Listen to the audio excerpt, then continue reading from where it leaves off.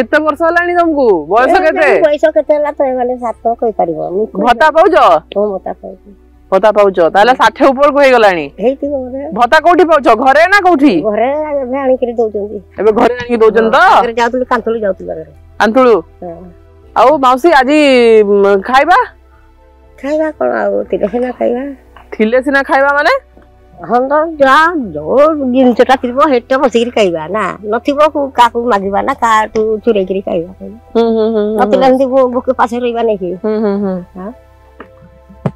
ମାଉସୀ ଗାଁରେ ସବୁ ଭଲ ଗାଁରେ କେତେ ଭଲ କେତେ ଭଲ କେତେ ଏହାକି କହିପାରିବ ଗାଁରେ କଣ କଣ ସୁବିଧା ଅଛି କିଛି ସୁବିଧା ନାହିଁ ତ କଣ କଣ ସୁବିଧା ନାହିଁ କଣ ସୁବିଧା ଆଉ ହେଇ ଦେଖୁଛ ନା ଖରାରେ ଏଠି ଖରା ଯେଭଳିଆ ଖରା ହଉଛି ଆମ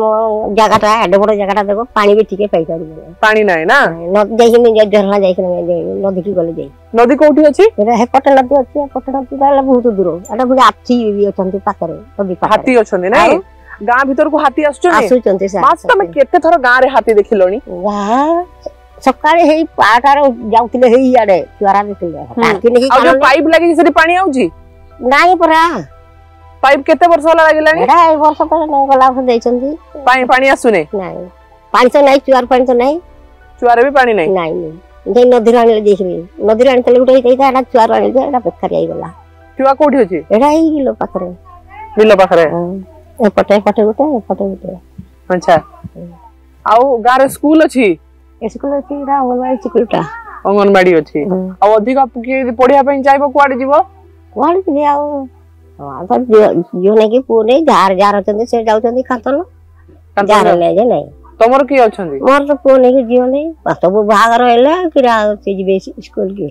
ଆଚ୍ଛା ପୁଅ ଝିଅ କୋଉଠି ଅଛନ୍ତି ଏଠି ସେମିତି ସେ ତାଙ୍କର ଅଲଗା କହୁଛନ୍ତି ମୋର ଅଲଗା କହୁଛନ୍ତି ଅଲଗା ରହୁଛ ଶୁଣୁଥିଲେ ମାଉସୀଙ୍କ କଥା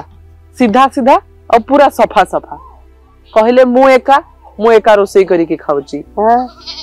ଆଉ ଗୋଟେ କଥା କହିଲେ ସେ ସବୁବେଳେ ଗାଁରେ ହାତୀ ଦେଖୁଛନ୍ତି ଏ ଗାଁରେ ହାତୀର ପ୍ରାଦୁର୍ଭାବ ଲାଗିକି ରହିଛି ଆଉ ହାତୀ ଏଠି ଦିନ ରାତି ପ୍ରାୟ ସବୁବେଳେ ଏଠି ଯିବା ଆସିବା କରନ୍ତି ଆଉ ଏଠି ଲୋକେ ଜୀବନକୁ ନିଜ ହାତରେ ଧରିକି ବଞ୍ଚନ୍ତି କାହିଁକି ନା ହାତୀ ସବୁବେଳେ ଏ ଗାଁକୁ ଆସିଥାଏ ଆଉ